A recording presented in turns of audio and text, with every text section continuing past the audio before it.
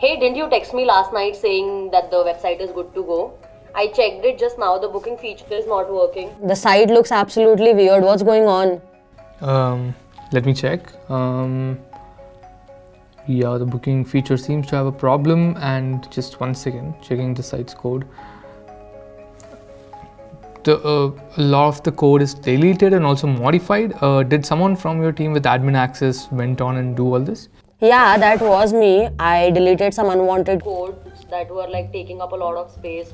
How is that answering my question? What's going on? Just give me like two hours. I'll rectify it. Cool, hurry up. I want you to close this by tonight. Yeah, okay.